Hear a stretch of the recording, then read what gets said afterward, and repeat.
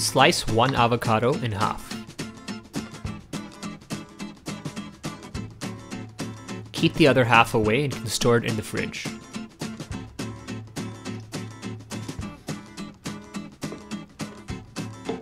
Scoop out the avocado and put it in a blender cup.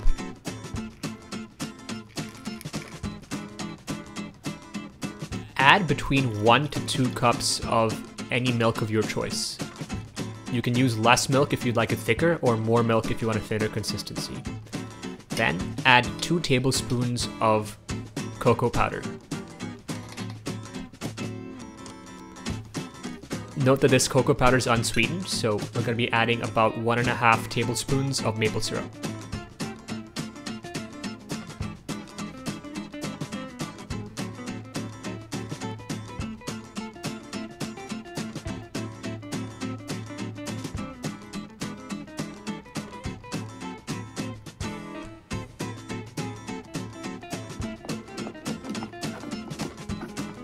Seal up the blender cup, and place it in the blender.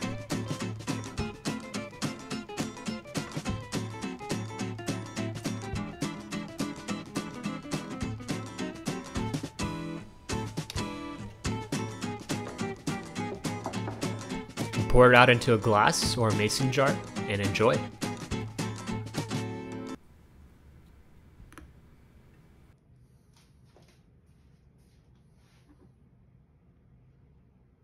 So this smoothie recipe is super convenient if you need a breakfast on the go or if you just need a quick snack, uh, something that'll fill you up and keep you satiated for a long time. So the avocado really adds two things to the smoothie. One is from a macronutrient standpoint, it's a source of healthy fats. So that is that is one. And the second thing is from a texture standpoint, avocados tend to make your smoothies very creamy. So it's a great addition if you're looking for that kind of texture in your smoothies.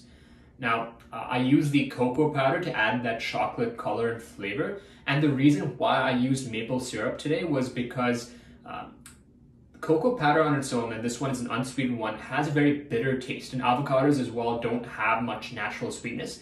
So adding this little bit of maple syrup adds that tinge of sweetness to make that flavor a bit more palatable for the smoothie overall. And lastly, some optional ingredients you can add in that I didn't use in this recipe, but you can definitely add in if you need additional calories or uh, you want a more uh, filling meal, you can add in a binder such as uh, rolled oats. You can add a couple of tablespoons of rolled oats in that adds some good carbohydrates as well uh, as a sense of uh, it adds some more density to the smoothie.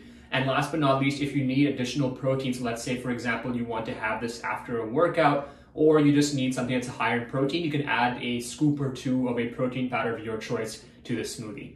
So uh, adding the oats and the smoothies will balance things out and round things out from a macronutrient standpoint if that's what you're looking for.